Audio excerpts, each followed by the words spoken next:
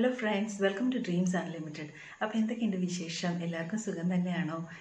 അപ്പോൾ നമുക്കറിയാം once again നമ്മുടെ ലൈഫ് ഓൾമോസ്റ്റ് ഒരു നോർമാലിറ്റിയിലേക്ക് വന്നുകൊണ്ടിരിക്കുകയാണ് ഇപ്പോൾ പതുക്കെ എല്ലാവരും വർക്കൊക്കെ റീസ്റ്റാർട്ട് ചെയ്തു ഷോപ്സ് ഒക്കെ അഗെയിൻ ഓപ്പൺ ആയി തുടങ്ങി. പക്ഷേ സ്റ്റിൽ കോവിഡിന്റെ കൗണ്ട് ഇറ്റ്സ് ഇൻക്രീസിങ് അലാമിംഗ്ലി എല്ലാ ദിവസവും കൗണ്ട് വല്ലാതെ കൂടി വരിക നമ്മൾ അറിയുന്നുണ്ട്. അപ്പോൾ നമ്മൾ നല്ല അലേർട്ടായിട്ടിരിക്കുക കൂടുതൽ കെയർഫുൾ ആവുക. Take good care of yourself അപ്പം നമുക്ക് വൺസ് അഗൈൻ നമ്മുടെ ഇന്നത്തെ വീഡിയോ സ്റ്റാർട്ട് ചെയ്യാം. ഇന്നത്തെ വീഡിയോ എന്ന് പറയുമ്പോൾ ഇന്ന് നമ്മുടെ ചാനലിൽ നമ്മൾ ഫസ്റ്റ് ടൈം നമ്മളൊരു കുക്കിംഗ് വീഡിയോ ആണ് നമ്മൾ ചെയ്തേക്കുന്നത് ഇനി ഈ വീഡിയോയുടെ ഡീറ്റെയിൽസ് എന്ന് പറയുമ്പോൾ നമ്മൾ ഇന്ന് രണ്ട് ഡിഷസ് ആണ് നമ്മൾ ചെയ്യുന്നത്. ഈ രണ്ട് ഡിഷസിൽ ആദ്യത്തെ ഡിഷ് വന്നിട്ട് ഒരു നാടൻ ബീഫ് കട്ട്ലേറ്റ് ആണ് നമ്മൾ ചെയ്യുന്നത്. ഈ ബീഫ് കട്ട്ലേറ്റ് എന്ന് പറയുമ്പോൾ വളരെ ഈസി ആയിട്ട് നമുക്ക് ചെയ്യാവുന്ന ഒരു കട്ട്ലേറ്റ് ആണ്. ഇതിന്റെ ഇൻഗ്രീഡിയൻസ് എല്ലാം തന്നെ നമ്മുടെ വീട്ടിൽ എപ്പോഴും അവൈലബിൾ ആയിട്ടുള്ള ഇൻഗ്രീഡിയൻസ് ആണ്. അപ്പോൾ പെട്ടെന്നൊക്കെ ഒരു ഗസ്റ്റ് ഒക്കെ വരുമ്പോൾ നമുക്ക് സുഖമായിട്ട് ഇത് ഉണ്ടാക്കാവുന്നതാണ്. വളരെ കുറച്ച് ബീഫ് മാത്രം മതി നമുക്കിതിന്. അപ്പോൾ നമുക്ക് ആ കട്ട്ലേറ്റ് എങ്ങനെയാണ് പ്രിപ്പയർ ചെയ്യുന്നതെന്ന് ഒന്ന് കണ്ടു നോക്കാം. അപ്പോൾ ആദ്യമേ തന്നെ നമ്മുടെ മെയിൻ ഇൻഗ്രീഡിയന്റ് ആയ ബീഫാണ് ഇത് ഏതാണ്ട് ഒരു ഇരുന്നൂറ് ഗ്രാം ബീഫാണ് നമ്മൾ കുക്കറിൽ ഒരു നാല് വിസിൽ പോണ വരെ ആവശ്യത്തിന് ഉപ്പും ചേർത്ത് വേവിച്ചെടുത്ത ബീഫാണ് ഇനി നമുക്ക് അടുത്തായിട്ട് ചെയ്യേണ്ടതെന്ന് പറഞ്ഞാൽ ഈ ബീഫ് നമുക്ക് മിൻസ് ചെയ്തെടുക്കണം. അപ്പോൾ മിൻസ് ചെയ്തെടുക്കുമ്പോൾ നമ്മൾ ശ്രദ്ധിക്കേണ്ടത് ഇത് മിക്സിയുടെ ചെറിയ ജാറിൽ നമുക്ക് ഒന്ന് മിൻസ് ചെയ്തെടുക്കാം. മിൻസ് ചെയ്യണമെന്ന് പറയുമ്പോൾ ഇതങ്ങ് ഒരുപാടങ്ങ് ഗ്രൈൻഡ് ചെയ്യരുത്. ജസ്റ്റ് നമ്മൾ മിക്സിയിലിട്ടിട്ട് ഒരു ഒരു പ്രാവശ്യം അല്ലെങ്കിൽ ഒരു രണ്ട് പ്രാവശ്യം ഒന്ന് കറക്കി എടുക്കാനേ പാടുള്ളൂ.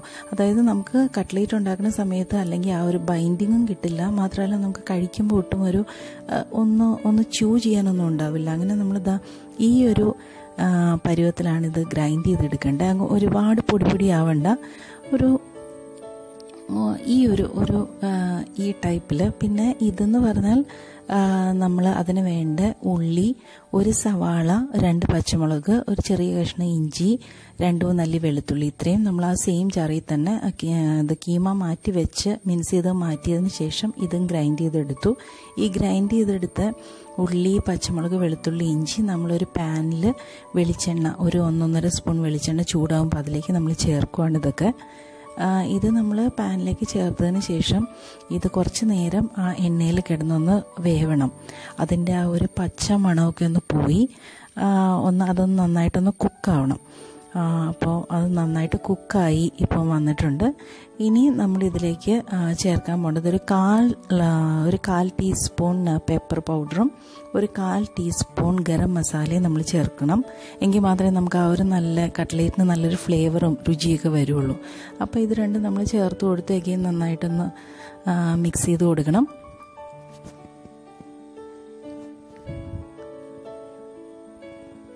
ഇനി നമ്മൾ ഇതിലേക്ക് ചേർക്കാൻ പോണ നമ്മൾ നേരത്തെ മിൻസ് ചെയ്ത് വെച്ചേക്കുന്ന നമ്മുടെ ബീഫാണ് ഇനി നമ്മൾ ഇതിലേക്ക് ആഡ് ചെയ്ത് കൊടുക്കാൻ പോണത് ഇതിന് ശേഷം.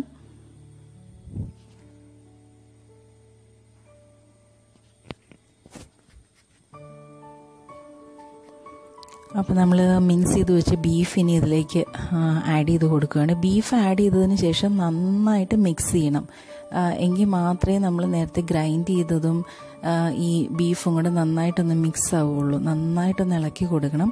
ഇളക്കി ഇതിന്റെ എണ്ണ കുറച്ച് തെളിഞ്ഞ് വന്ന് ഇതൊരു ഈ ബീഫിന്റെ ഇപ്പോൾ ഈ ഒരു കളറ് മാറിയിട്ട് ഇത് കുറച്ചൊരു ബ്ലാക്ക് ഷെയ്ഡിലേക്ക് മാറും. അതുവരെ നമ്മൾ ഇളക്കി കൊടുക്കണം. എണ്ണ തെളിയണവരെ അല്പം ഉപ്പും നമ്മളിപ്പോൾ ചേർത്ത് കൊടുക്കുകയാണ് നേരത്തെ ബീഫ് വേവിച്ചപ്പോൾ നമ്മൾ കുറച്ച് ചേർത്തായിരുന്നു.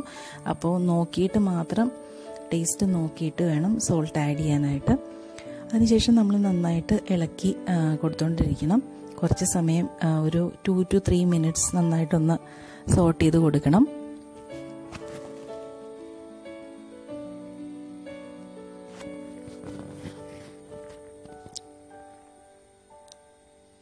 അപ്പോൾ ഇപ്പോൾ അതിന്റെ കളറൊക്കെ ഒന്ന് മാറി തുടങ്ങിയിട്ടുണ്ട്. ഇനി നമ്മൾ അതിലേക്ക് ചേർക്കാൻ പോണത് വേവിച്ച് വെച്ചിരിക്കുന്ന പൊട്ടറ്റോ. ഒരു മുഴുത്ത പൊട്ടറ്റോ ആണെങ്കിൽ ഒരു രണ്ടെണ്ണം അല്ലെങ്കിൽ ചെറുതാണെങ്കിൽ ഒരു മൂന്നെണ്ണം. മൂന്ന് പൊട്ടറ്റോ നമ്മൾ കുക്കറിൽ വേവിച്ച് പീൽ ഔട്ട് ചെയ്ത പൊട്ടറ്റോ കൈ വെച്ച് ഉടച്ചതാണ് മാഷ് ചെയ്ത പൊട്ടറ്റോ. ഇത് നമ്മളിനി ഈ നമ്മുടെ മിൻസ് ചെയ്ത ബീഫിന്റെ ആ മിക്സിലേക്ക് നമ്മൾ ഇതും ആഡ് ചെയ്ത് കൊടുക്കും. വേവിച്ച് മാഷ് ചെയ്ത പൊട്ടറ്റോയാണ് ഇതും ആഡ് ചെയ്തതിന് ശേഷം നന്നായിട്ട് മിക്സ് ചെയ്യണം. നന്നായിട്ട് ഇളക്കി നന്നായിട്ട് മിക്സ് ചെയ്യണം. കട്ട്ലേറ്റിന്റെ ഒരു രുചി എന്ന് പറഞ്ഞാൽ അത് ആ മിക്സിങ്ങിലാണ് മെയിനായിട്ട് ഇരിക്കുന്നത് സ്പൂൺ വെച്ച് ഈ പൊട്ടറ്റോ അതിലേക്ക് നന്നായിട്ട് ഉടച്ചു കൊടുത്ത് നല്ലതായിട്ട് മിക്സ് ചെയ്തെടുത്ത് ഇതൊരു നല്ലൊരു മിക്സ് ആക്കി എടുക്കണം. ഒട്ടും തന്നെ വെള്ളം ഒന്നും പാടില്ല. നമ്മൾ ബീഫായാലും നേരത്തെ മിക്സ് ചെയ്യുന്ന സമയത്ത് ശ്രദ്ധിക്കേണ്ട ഒരു കാര്യം ഒട്ടും വെള്ളം പാടില്ല ബീഫിൽ ഈവൻ പൊട്ടറ്റോ ആയാലും നമ്മൾ മാഷ് ചെയ്ത് ചേർക്കുമ്പോൾ ഒട്ടും വെള്ളത്തിന്റെ ഒരു കണ്ടന്റ് അതിൽ പാടില്ല. അതുണ്ടായാൽ നമുക്ക് കട്ട്ലേറ്റിന് ആ ഒരു ബൈൻഡിങ് കിട്ടില്ല. കുറച്ച് ലൂസ് ആയിട്ടിരിക്കും. അപ്പോൾ ഈ മിക്സ് എപ്പോഴും കുറച്ച് നല്ല ടൈറ്റ് ആയിട്ടിരിക്കണം. അപ്പോൾ ഇപ്പോൾ നമ്മുടെ മിക്സ് റെഡി ആയിട്ടുണ്ട്. ഇനി നമുക്ക് സ്റ്റൗ ഓഫ് ചെയ്യാം. അതിനുശേഷം ഇത് കുറച്ചൊന്ന് ചൂടറിയതിന് ശേഷം നമുക്ക് ഈ മിക്സ് കുറേശ്ശെ എടുത്തൊന്ന് ഷേപ്പ് ചെയ്ത് കൊടുക്കാം. ഷേപ്പ് നിങ്ങൾക്ക് ഇഷ്ടമുള്ള ഷേപ്പിലാക്കാം. Cutlet round shape oval shape ഏത് ഷേപ്പ് വേണമെങ്കിലും. പിന്നെ ഈ ഒരു മിക്സ് എന്ന് പറഞ്ഞാൽ ഇത് നമുക്ക് അപ്പോൾ തന്നെ യൂസ് ചെയ്യണമെന്നില്ല. ഇത് ഫ്രിഡ്ജിൽ നല്ലൊരു ക്ലോസ്ഡ് കണ്ടെയ്നറിൽ എടുത്തു വെച്ചാൽ നമുക്ക് എത്ര ദിവസം വേണമെങ്കിലും ഒരു ഒരാഴ്ച വരെയൊക്കെ അത് ഇരുന്നോളൂ. നമുക്ക് ആവശ്യമുള്ളപ്പോൾ എടുത്ത് ആവശ്യമുള്ള അത്ര നമ്മൾ ഫ്രൈ ചെയ്തെടുത്താൽ മതി. ഇതിപ്പോൾ ഏതാണ്ട് ഒരു ആറ് കട്ട്ലേറ്റിനുള്ള മിക്സാണ് നമ്മളിപ്പോൾ ഇവിടെ മൂന്നെണ്ണമാണ് ഉണ്ടാക്കണം ഇന്ന്. അപ്പോൾ ഇത് നമ്മളിപ്പോൾ ഓൾറെഡി ഷേപ്പാക്കി വെച്ചു. ഇനി നമുക്ക് വേണ്ടത് ഒരു മുട്ടയാണ്. ഇതിപ്പോൾ ഒരു മുട്ട ഫുള്ളായിട്ടും പൊട്ടിച്ചൊഴിച്ചിട്ടുണ്ട്. ഇത് നമ്മളിനി ഒരു ഫോർക്ക് ഉപയോഗിച്ചോ അല്ലെങ്കിൽ ബീറ്റർ ഉണ്ടെങ്കിൽ അങ്ങനെ നന്നായിട്ടൊന്ന് ബീറ്റ് ചെയ്തെടുക്കണം. ഈ യെല്ലോയും വൈറ്റും ഒക്കെ കൂടെ നന്നായിട്ടൊന്ന് ബീറ്റ് ചെയ്തെടുക്കണം. ഇത് നമ്മൾ യൂസ് ചെയ്യണമെന്ന് പറഞ്ഞാൽ കട്ട്ലേറ്റ് ഫ്രൈ ചെയ്യുന്ന സമയത്ത് ഒരു കവർ കവറിങ്ങിന് വേണ്ടിയാണ് നമ്മൾ ഈ മുട്ട യൂസ് ചെയ്യുന്നത്. പിന്നെ അത് കഴിഞ്ഞ് കവറിങ്ങിന് നമ്മൾ എടുത്തേക്കണത് മൈദ പൊടിയാണ്. മൈദ മൈദ ഞാനിപ്പോൾ ഇവിടെ എടുത്ത എന്തുകൊണ്ടാണെന്ന് വെച്ചാൽ എന്റെ കയ്യിൽ ബ്രെഡ് ക്രംസ് ഇല്ലായിരുന്നു. അതുകൊണ്ടാണ് നിങ്ങൾക്ക് വീട്ടിൽ ബ്രെഡ് ക്രംസ് യൂസ് ചെയ്യാം. അതായിരിക്കും കുറച്ചും കൂടെ ടേസ്റ്റിയും ഒരു ഫിനിഷിംഗ് ലുക്കും ഉണ്ടാവും. ഓക്കെ എന്റെ കയ്യിൽ ഇല്ലായിരുന്നു കേട്ടോ ബ്രെഡ് ബ്രെഡ് നമ്മുടെ കയ്യിൽ ബ്രെഡ് സ്റ്റോക്ക് ഇരിപ്പുണ്ടെങ്കിലും മതി. ഒരു രണ്ട് പീസ് ബ്രെഡ് രണ്ടുമൂന്ന് സ്ലൈസ് ബ്രെഡ് നമ്മൾ മിക്സിയിലേക്ക് ഇട്ട് നന്നായിട്ടൊന്ന് ഗ്രൈൻഡ് ചെയ്തെടുത്താലും നമുക്ക് ബ്രെഡ് ക്രംസ് കിട്ടും. ഇപ്പം എന്റെ കയ്യിൽ ബ്രെഡ് സ്റ്റോക്ക് ഇല്ലായിരുന്നു. അത് അപ്പോൾ നമ്മൾ പാൻ വെച്ച് വെളിച്ചെണ്ണ ഒഴിച്ച് ചൂടാകുമ്പോൾ ഈ നേരത്തെ നമ്മൾ ഷേപ്പ് ചെയ്ത് വെച്ചിരിക്കുന്ന കട്ട്ലേറ്റ് വൺ ബൈ വൺ ആയിട്ട് എടുത്ത് ആദ്യമേ ഇത് മുട്ടയിൽ ഒന്ന് നന്നായിട്ട് മുക്കി ഒന്ന് ഡിപ്പ് ചെയ്തെടുത്തതിന് ശേഷം അടുത്തതായിട്ട് നമ്മൾ ഈ മുട്ട ഈ കട്ട്ലേറ്റ് മൈദയിലേക്ക് ഇടണം. മൈദയിൽ നന്നായിട്ടൊന്ന് റാപ്പ് ചെയ്തെടുക്കണം. ഈ മൈദയിൽ റാപ്പ് ചെയ്യുമ്പോൾ നമ്മൾ ഉദ്ദേശിക്കുന്ന ആ ഒരു ഒരു ഫിനിഷിങ് ചിലപ്പോൾ കിട്ടില്ല. അതുകൊണ്ടാണ് ഞാൻ പറഞ്ഞത് ബ്രെഡ് ക്രംസ് ആണ് ഇതിന് ഏറ്റവും ബെസ്റ്റ് എന്ന് പറയുന്നത്. അപ്പം നിങ്ങൾ ഉണ്ടാക്കുന്ന സമയത്ത് ബ്രെഡ് ക്രംസ് ചെയ്യണം. അപ്പം നമ്മുടെ ഇതാ മൂന്ന് കട്ട്ലേറ്റും റെഡിയായി നമ്മളിതൊരു ലൈറ്റ് ബ്രൗൺ ഷെയ്ഡ് ആവണ വരെ തിരിച്ചും മറിച്ചും ഇട്ട് കുക്ക് ചെയ്തു. ഇനി നമ്മളിത് പ്ലേറ്റിലേക്ക് മാറ്റുവാണ് നമ്മുടെ മൂന്ന് കട്ട്ലേറ്റും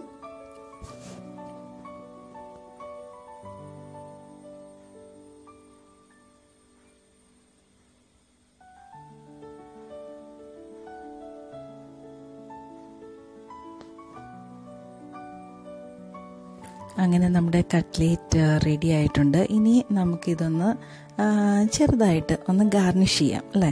അപ്പോൾ കാണാനും കുറച്ച് ഭംഗിയുണ്ടാവും അല്ലേ? ഇതൊന്നും കമ്പൽസറി ആയിട്ടുള്ള കാര്യമല്ല കേട്ടോ. ഇറ്റ്സ് അബ്സല്യൂട്ട്ലി ഓപ്ഷണൽ ഓക്കെ ഇതിപ്പോൾ ഞാൻ രാവിലെ പുറത്ത് കരിവേപ്പ് ഒരു കുഞ്ഞു കരിവേപ്പായിരുന്നു. ഇപ്പോൾ മഴക്കാലം ആയതുകൊണ്ട് നന്നായിട്ട് വളർന്നു വന്നിട്ടുണ്ട്. അപ്പോൾ ഒരു കരിവേപ്പിന്റെ ഒരു കമ്പ് ഒടിച്ചുകൊണ്ട് വന്നായിരുന്നു കേട്ടോ രാവിലെ. അപ്പോൾ അതിൽ നിന്ന് നമുക്ക് കുറച്ച് കരിവേപ്പിലെടുത്ത് ഇതൊന്ന് ചെറുതായിട്ടൊന്ന് സിമ്പിളായിട്ടൊന്ന് ഗാർണിഷ് ചെയ്ത് കൊടുക്കാം. അപ്പോൾ കാണാനൊരു ഭംഗി ഉണ്ടാവുമല്ലോ. നമ്മളെപ്പോഴും ഏത് ഫുഡ് ഉണ്ടാക്കി കഴിഞ്ഞാലും എനിക്ക് തോന്നുന്നത് അത് സെർവ് ചെയ്യുമ്പോഴുള്ള അതിന്റെ ഒരു അതിന്റെ ആ ഒരു ഗാർണിഷിങ്ങിലും ഒക്കെ കുറേ കാര്യമുണ്ട് അല്ലേ? ഭംഗിയായിട്ട് ഗാർണിഷ് ചെയ്യുമ്പോൾ തീർച്ചയായിട്ടും നമുക്ക് ആ ഫുഡൊന്ന് കഴിക്കാൻ തോന്നും ഒന്ന് ടേസ്റ്റ് ചെയ്യാൻ തോന്നും. അപ്പോൾ നമുക്കിങ്ങനെ ഇതാ കരിവേപ്പില വെച്ച് ഒന്ന് സിമ്പിളായിട്ട് നിങ്ങളുടെ കയ്യിൽ ടൊമാറ്റോ ഉണ്ടെങ്കിൽ ടൊമാറ്റോ പീലെടുത്ത് ഒരു ചെറിയൊരു റോസ് ഫ്ലവറൊക്കെ ഉണ്ടാക്കാം. അങ്ങനെ നിങ്ങളുടേതായ ക്രിയേറ്റീവ് ഐഡിയാസിൽ എന്തെങ്കിലുമൊക്കെ ചെയ്യുക കേട്ടോ. അപ്പോൾ തീർച്ചയായിട്ടും ആ അപ്പോൾ നിങ്ങൾക്ക് എല്ലാവർക്കും ബീഫ് കട്ട്ലേറ്റ് ഇഷ്ടപ്പെട്ടു എന്ന് വിചാരിക്കണം എല്ലാവരും മറക്കാതെ ഇത് വീട്ടിൽ ട്രൈ ചെയ്ത് നോക്കണം ഓക്കെ വളരെ ഈസി അല്ലേ അല്ലേ?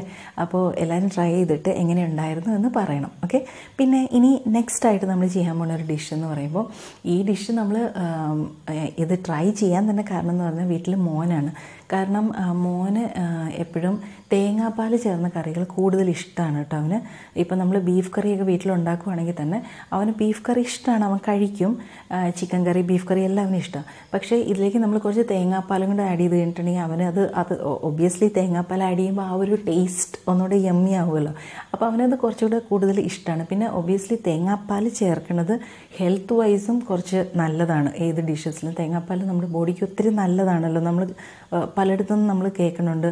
അതായത് കോക്കനട്ട് ഓയിൽ കോക്കനട്ട് മിൽക്ക് കോക്കനട്ടിന് കൂടുതൽ യൂസേജ് എന്തുകൊണ്ട് നമുക്ക് ഇറ്റ്സ് മോർ ഹെൽത്തി ഓക്കെ അപ്പോൾ നമ്മൾ തേങ്ങാപ്പാൽ ചേർത്ത് ഒരു ബീഫ് കറിയാണ് നമ്മൾ അടുത്തായിട്ട് വെക്കാൻ പോകുന്നത് അപ്പോൾ നമുക്ക് അതൊന്ന് കണ്ടു നോക്കാം. ഈ ബീഫ് കറി വന്നിട്ട് ചോറിന്റെ കൂടെയോ അതല്ല ചപ്പാത്തി അപ്പം ബ്രെഡിന്റെ കൂടെ അങ്ങനെ എന്തിന്റെ കൂടെ വേണമെങ്കിലും നമുക്ക് യൂസ് ചെയ്യാവുന്നതാണ്. അപ്പോൾ നമുക്ക് നമ്മുടെ ബീഫ് കറി തേങ്ങാപ്പാൽ ചേർത്ത ബീഫ് കറി ഒന്ന് കണ്ടു നോക്കാം.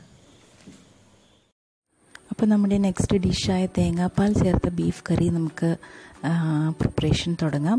അപ്പോൾ ആദ്യമായിട്ട് നമ്മൾ പാൻ അടുപ്പത്ത് വെച്ചു. നമ്മൾ ആവശ്യത്തിന് വെളിച്ചെണ്ണ വെളിച്ചെണ്ണയാണ് നമ്മൾ യൂസ് ചെയ്യുന്നത് ഒരു രണ്ട് രണ്ട് ടീസ്പൂൺ വെളിച്ചെണ്ണ ഒഴിച്ച് നല്ലോണം ഒന്ന് ചൂടായി വരണം വെളിച്ചെണ്ണ. നല്ലോണം ഒന്ന് ചൂടായി വന്നിട്ട് ഇത് തേങ്ങാപ്പാൽ ചേർത്ത കറി ആയതുകൊണ്ട് നമ്മൾ ആദ്യം അതിനെ കടുക് പൊട്ടിക്കാൻ പോവാം. അപ്പോൾ അതിനായിട്ട് നമ്മൾ അത്യാവശ്യത്തിനുള്ള കടുക് ഇട്ട് കൊടുക്കുകയാണ് കടുക് നന്നായിട്ടൊന്ന് പൊട്ടി വന്നം അതിനുശേഷമാണ് നമ്മൾ പിന്നത്തെ ഇൻഗ്രീഡിയൻസ് ചേർക്കാൻ പോണത്.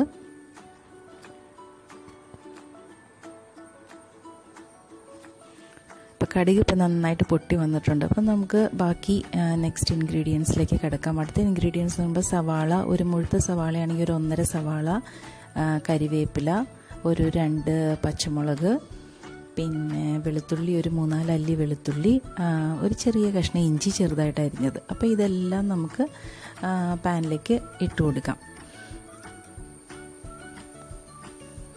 പച്ചമുളക് ഇഞ്ചി വെളുത്തുള്ളി സവാള കരിവേപ്പില ഇതെല്ലാം ചേർത്ത് കൊടുത്ത് ഇപ്പോൾ നമുക്ക് പാനിലേക്ക് നോക്കുമ്പോൾ എത്ര കളർഫുൾ ആയിട്ടുണ്ടല്ലേ ഗ്രീൻ റെഡ് എല്ലാം ഉണ്ട്. ഇത് നന്നായിട്ടൊന്ന് വഴന്നു വരാനായിട്ട് നമ്മൾ അത്യാവശ്യം കുറച്ച് ഉപ്പും കൂടെ ചേർത്ത് കൊടുക്കുകയാണ് അപ്പോൾ ഇപ്പോൾ ഉപ്പ് ചേർക്കണതുകൊണ്ട് പിന്നീട് ഉപ്പ് ചേർക്കുമ്പോൾ വളരെ സൂക്ഷിച്ച് വേണം ടേസ്റ്റ് ചെയ്ത് നോക്കിയിട്ട് വേണം ചേർക്കാനായിട്ട്. ഇത് നന്നായിട്ടൊന്ന് ഇളക്കി മിക്സ് ചെയ്തതിന് ശേഷം കുറച്ച് സമയം ഇതൊന്ന് കുക്കാവാനായിട്ട് നമ്മൾ ടൈം കൊടുക്കണം. അപ്പോൾ മൂടി വെച്ച് നമുക്ക് കുക്ക് ചെയ്യാം. ഇപ്പോൾ അതൊരു ലൈറ്റ് ബ്രൗണിഷ് ഷെയ്ഡായി വന്നിട്ടുണ്ട്. ഒരുവിധം കുക്കായി നമുക്ക് നമ്മുടെ മസാല പൗഡേഴ്സൊക്കെ ചേർക്കാം. അപ്പോൾ ചില്ലി പൗഡർ നമ്മളൊരു ഒന്നര ടീസ്പൂണാണ് ഇതിലേക്ക് ചേർക്കണേ. ഇനി അടുത്തായിട്ട് നമ്മൾ ചേർക്കാൻ പോണത് ടർമറിക് പൗഡറാണ് അത് അധികം വേണ്ട. ഒരു കാൽ ഒരു കാൽ ടീസ്പൂൺ ഒക്കെയാണ് നമ്മൾ ആഡ് ചെയ്യാൻ പോണേ ടർമറിക് പൗഡർ ഇനി നെക്സ്റ്റ് ആയിട്ട് അത് നമ്മൾ ആഡ് ചെയ്യാൻ പോണത് കൊറിയാൻഡർ പൗഡറാണ് മല്ലിപ്പൊടി. മല്ലിപ്പൊടി കുറച്ച് കൂടുതൽ ചേർന്ന് കഴിഞ്ഞാൽ ഈ കറിക്ക് അത്രത്തോളം ടേസ്റ്റ് കൂടും. എപ്പോഴും തേങ്ങാപ്പാൽ ചേർത്ത കറിയായുണ്ട് അപ്പം മല്ലിപ്പൊടി നമ്മളൊരു നല്ല മുഴുത്തൊരു ടീസ്പൂണിന് ഒരു രണ്ട് രണ്ടര ടീസ്പൂൺ വരെ നമുക്ക് ചേർക്കാം.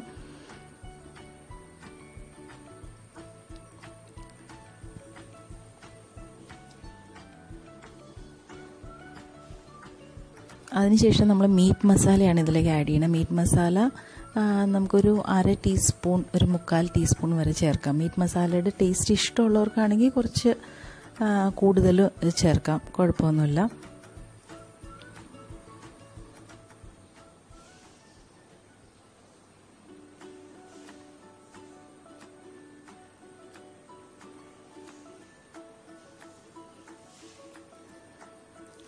അപ്പം നമ്മൾ മീറ്റ് മസാല ചേർത്ത് കൊടുത്തു. ഒരു മുക്കാൽ ടീസ്പൂൺ ചേർത്ത് കൊടുത്തു. എഗെയിൻ ഇതെല്ലാം നന്നായിട്ട് മിക്സ് ചെയ്ത് യോജിപ്പിക്കണം. ഇനി നമ്മൾ ചേർക്കാൻ പോകുന്നത് ഗരം മസാലയാണ്. ഗരം മസാലയും അധികം വേണ്ട. ഒരു കാൽ ടീസ്പൂൺ ചേർത്താൽ മതി. പക്ഷേ ഗരം മസാല ചേർന്നെങ്കിൽ മാത്രമേ അതിന്റെ ആ ഒരു ടേസ്റ്റ് വരുള്ളൂ. അപ്പോൾ അത് മസ്റ്റായിട്ടും ചേർക്കണം. ഇപ്പോൾ നന്നായിട്ടെല്ലാം നല്ല വഴന്നു വന്നു. ഇനി പൊട്ടറ്റോ നമ്മളൊരു മുഴുത്ത രണ്ട് പൊട്ടറ്റോ സ്ക്വയർ ക്യൂബ് ഷേപ്പിൽ നമ്മൾ കട്ട് ചെയ്ത് വെച്ചേക്കണതാണ്. വേവിച്ചിട്ടില്ല. പൊട്ടറ്റോ ജസ്റ്റ് പീൽ ചെയ്ത് നമ്മൾ ക്യൂബ് ഷേപ്പിൽ കട്ട് ചെയ്ത് വെച്ച് രണ്ട് മുഴുത്ത പൊട്ടറ്റോ ഇതിലേക്ക് ആഡ് ചെയ്ത് കൊടുക്കുകയാണ്. അതിനി നന്നായിട്ടൊന്ന് ഇളക്കി മിക്സ് ചെയ്യണം.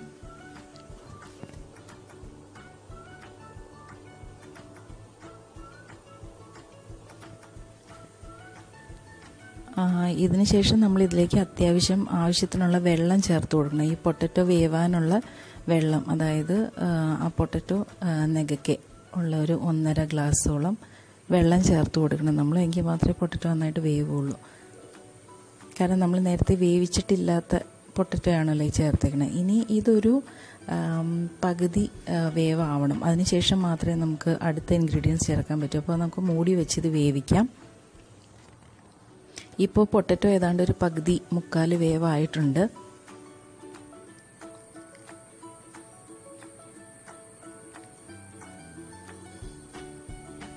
ഇനി നമുക്കിതിലേക്ക് നമ്മുടെ മെയിൻ ഇൻഗ്രീഡിയന്റായ ബീഫ് അതായത് നേരത്തെ നമ്മൾ കട്ട്ലേറ്റ് ചേർത്തതുപോലെ തന്നെ ഒരു ഇരുന്നൂറ് ഗ്രാമോളം ഇരുന്നൂറ് ഗ്രാമോളം ബീഫ് നന്നായിട്ട് വേവിച്ച ബീഫാണിത് ഉപ്പിട്ട് വേവിച്ചതാണ്.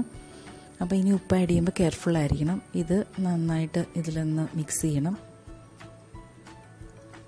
ഇനി വൺസ് അഗൈൻ ഈ ബീഫ് ചേർത്തതിന് ശേഷം ഇത് ഒന്നും കൂടെ കുക്കാവണം കാരണം ബീഫും പൊട്ടറ്റോയും കൂടെ ഒന്ന് അതൊന്ന് നന്നായിട്ടൊന്ന് ബ്ലെൻഡായി വന്നല്ലോ എങ്കിൽ മാത്രമേ ടേസ്റ്റ് വരുള്ളൂ.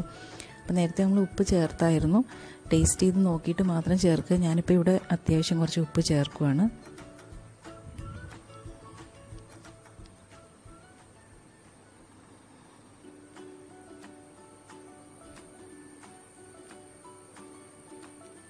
ഞാനൊന്ന് ടേസ്റ്റ് ചെയ്ത് നോക്കിയപ്പോൾ ഉപ്പ് ബാലൻസ് ആയിട്ടുണ്ട്.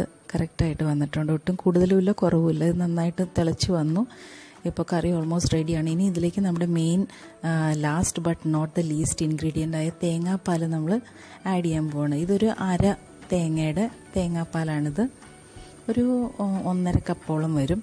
ഈ തേങ്ങാപ്പാൽ നമ്മൾ ഇതിലേക്ക് ആഡ് ചെയ്ത് കൊടുക്കുകയാണ് ലാസ്റ്റായിട്ട് ഇനി ഈ ബീഫും ഈ പൊട്ടറ്റോയും മസാലയും തേങ്ങാപ്പാലും എല്ലാം കൂടെ കുറച്ച് സമയം നന്നായിട്ടൊന്ന് കുക്കാവണം. പൊട്ടറ്റോ പകുതി വേവേ ആയിട്ടുള്ളൂ അപ്പോൾ ബാക്കി അത് വേവണം. അതെല്ലാം കഴിഞ്ഞാൽ നമ്മുടെ കറി പിന്നെ റെഡിയാണ്. ഇനി നമുക്കിതിലേക്ക് ഒന്നും തന്നെ ചേർക്കാനില്ല. ഇത് ഞാൻ നേരത്തെ പറഞ്ഞതുപോലെ വളരെ നല്ലൊരു കറിയാണ്. ചോറിന്റെ കൂടെ നല്ലതാണ്. അതുപോലെ തന്നെ ചപ്പാത്തി അപ്പം എല്ലാത്തിന്റെയും കൂടെ പൊയ്ക്കോളും. ബ്രെഡിന്റെ കൂടെയും നല്ലൊരു സൈഡ് ഡിഷാണ്. അപ്പോൾ ഇത് അങ്ങനെ നമ്മുടെ ബീഫ് കറി തേങ്ങാപ്പാൽ ചേർത്ത ബീഫ് കറിയും ഇവിടെ റെഡി ആയിട്ടുണ്ട്. ഞാൻ നേരത്തെ പറഞ്ഞ പോലെ ചോറിന്റെ കൂടെയോ ചപ്പാത്തി അപ്പം ബ്രെഡ് എന്തിന്റെ കൂടെ വേണമെങ്കിലും ഇത് യൂസ് ചെയ്യാം. നിങ്ങൾക്ക് ഇഷ്ടപ്പെടും. ഷുവറായിട്ട് എല്ലാവർക്കും ഇഷ്ടപ്പെടും. അപ്പോൾ ഉറപ്പായിട്ടും എല്ലാവരും കമന്റ് ചെയ്യണം. വീട്ടിൽ ഇത് ട്രൈ ചെയ്ത് നോക്കണം. പിന്നെ എല്ലാവരും ചാനൽ ലൈക്ക് ചെയ്യണം ഷെയർ ചെയ്യണം സബ്സ്ക്രൈബ് ചെയ്യണം. അപ്പോൾ നമ്മൾ ഇനി അടുത്തൊരു വീഡിയോയിൽ കാണുന്നവരെ എല്ലാവരും take good care of yourself സേഫായിട്ടിരിക്കുക okay അപ്പോൾ lots of love to all of you bye